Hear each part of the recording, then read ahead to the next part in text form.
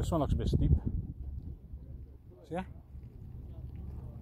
Daar rent eh, er. Ja, dat is Steven. Mom was looking over the edge. Oh, Steve, right? I said, so to keep running. And all of a sudden, she's disappeared. After her phone. Let's go for a bit.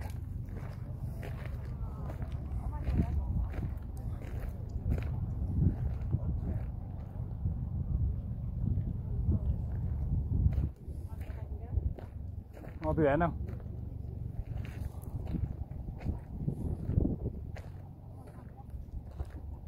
I'll give that now,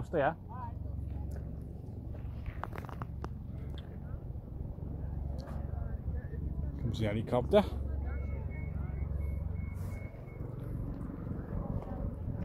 Go too far the edge.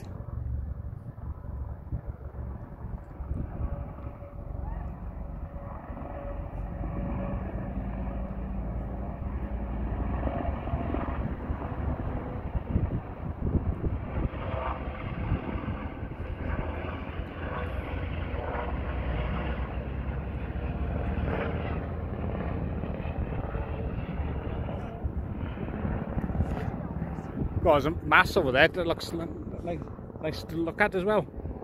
So look at that one.